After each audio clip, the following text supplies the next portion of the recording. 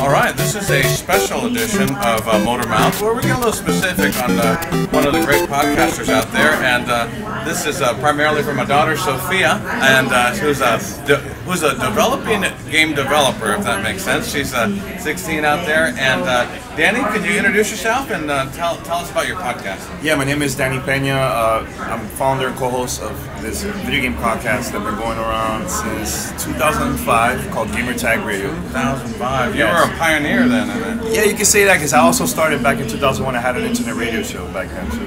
Now I'm thinking of what games were in that era, 2005. I mean, that, that's 2005 original Xbox. Uh, Oh, yeah? PlayStation 2. And I believe for Nintendo they had a GameCube. Oh, uh-huh. Yeah, so it's like very, very old school. And That's before right. that, when I started um, my internet radio show, it was all 56k modem. There was no DSL. Really? so um, at that time it was the Dreamcast, Sega Dreamcast, Nintendo 64, and it was something else too. I can't remember. Do Exactly. you remember that modem sound like?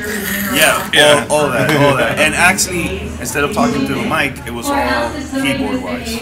Oh yeah, yeah. Uh-huh. Yeah, so very, very old school. But yeah, man, I started doing it for fun, and you know, now we've been doing that for 11 years. Our podcast signed a deal with CBS Radio last year and stuff, and we are very connected in the, vi- video game community.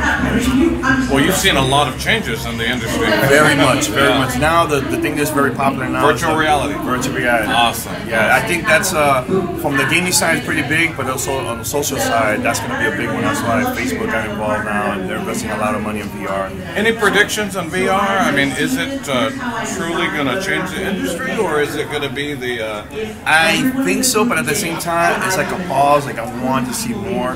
Um, right now, I just got to see like a lot of games during uh, this conference called E3 in, in LA. oh man, But it's it's awesome. E3, awesome. That in uh, class uh, that Sophie's taking game development, she's that's what talking about. What's the latest in E3, you know, and stuff like that. So, um, what what was the hottest thing in, in E3? Like, was it the uh, virtual uh, the virtual reality? Vir- Virtual reality was big, but I think games like Zelda was pretty big. Oh Yeah, there which was is like coming out next year. next year, Uh-huh. March of next year, and there was like a four-hour line just to play that game. You know, so Oh, wait a minute. Did you get to play it? No, we were You we didn't have got four to- hours to kill. No, we had no four hours. to go. And at the same time, too, we, we had like a lot of different appointments too for like other games. And Oh, stuff, sure, too, sure. So, Uh-huh. but uh, yeah, I mean that that's pretty big. Uh, Resident Evil VR because I love horror games. Oh, yeah, yeah. So imagine playing a scary game in virtual reality. yeah, you don't Sound sleep at night. Oh my god, it's great. great, great. But like for your daughter, I, I, I uh, my advice is for her like when she gets older. Yeah. Attend events, network with other uh, developers, people in the gaming industry. There's one in San Francisco. You said. Uh, Yes. What is that one called? It's called Game Developer Conference, GDC.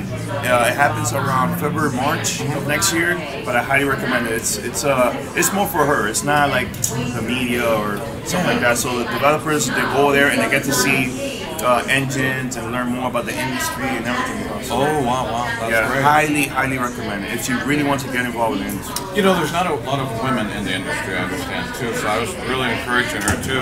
I mean, I think it'd be a great advantage. In fact, even her in her development class, there are like 20 uh, students, high school students, right there in the heart of Silicon Valley.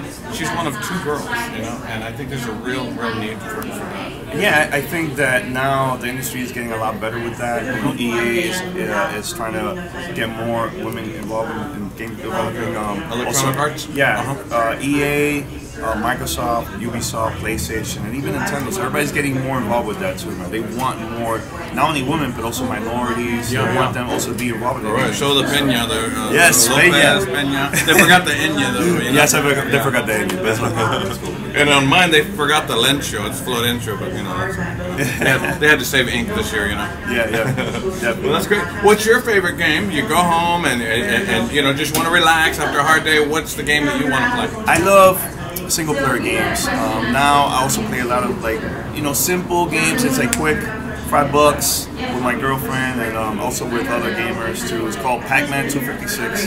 It's a very simple game, but it's awesome. You can get it for the mobile phone for free, or you can uh, download it on Xbox, PlayStation, and stuff. Or I'll play this game called Witcher 3, which is like an open world game. Oh my God! I, the, the uh, you can go through the villages. Yes. Oh, so you know what's up. Yeah, He knows what's up. Well, uh, so you would recommend that Sophie open the box that her father uh, got for her at Witcher Three, Oh, right? Witcher 3. Well, Tell her why she should open it. It's a, all right. to me, I'm very picky on what type of games uh, kids underage play. Oh, okay. I prefer. She's very advanced 16. She's 16 I mean, it all depends going on the on 30 though. you It all depends on the parent, you know. But I think um, games like Halo is pretty good. To Halo 5 Uh-huh. It's a first-person shooter, but it's okay for kids of that age. to Okay, know. good, Um, that game, also Overwatch, awesome game. Oh, okay, great. Overwatch is a very She enjoyed fun Fallout. game. Fallout. Fallout. She enjoyed Fallout that. is really good. Yeah, really she said it was one of the best games she's played. Yeah, yeah. I, I, the industry is changing, man. So for her to get involved, that's helping us in the community too, man. So uh, props to her for, for what Daddy's still trying to, uh, you know, get uh, past uh, Candy Crush. She said, you know, she says that's not a real game, Daddy. But you know, that's all right. Yeah, I mean everybody's contributing in the, in the community. It doesn't matter if it's mobile, console, PC. That's helping us all, man. You know, back then when I first started playing video games in the '80s, my grandmother bought me an Atari 2600. That's the game. That's the system that basically changed my life, and I started. The little Playing cassettes, you put them in there. Yeah, Okay, yeah. and then I that. Nintendo and. Super All right, but did you do Pong? Did you ever do Yeah, I Pong? played ball. Yeah, yeah, Ah, of course. okay. But I was very addicted to arcades, man. I, Yeah. I used to sneak out of the house in New York City and go to like a local grocery store and buy little arcade games and Where are you based out of now?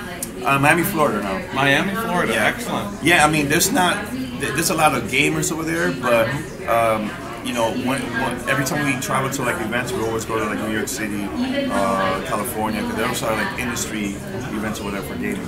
So, what is your podcast about primarily? What's your who's your audience?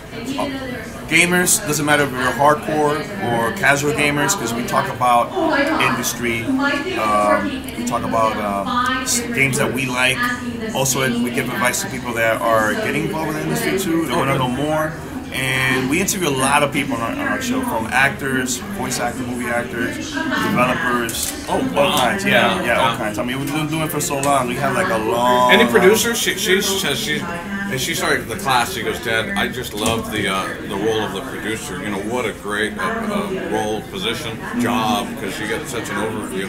Have you? Uh, I mean, there's, so- there's so many names. I'm trying, to think right now on the top of the spot. But okay, do, do this for me. Um, look for Peter Moore. He's one of the top execs for for EA for EA games right now. He used to work for Sega back then, um, Microsoft, and now also EA Sports. And now he's uh, doing the whole EA games, and, and they're getting involved now with EA esports, like tournaments and stuff. Yeah. Um, do research, and he's he's awesome. He's awesome, huh? Yeah. Awesome. All right. Uh, last thing. Uh, what's a, a good advice for a 16-year-old, like I said, going on 29, uh, to uh, what avenue she should pursue? She should continue going. I mean, what, what do you think? I mean, she's doing the, the right thing right now. Starting, going to school, do your thing. Network, super important. Network, okay. super important. Attend events, and at the same time, be patient because everything takes time. Yeah.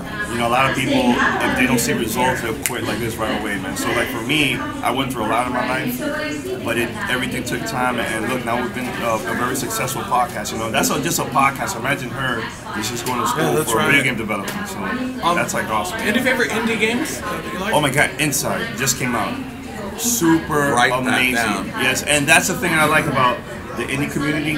They do stuff that the mainstream companies are not doing at all. They, they love Yeah. taking risks. So, Inside just came out like a few weeks ago. Awesome game.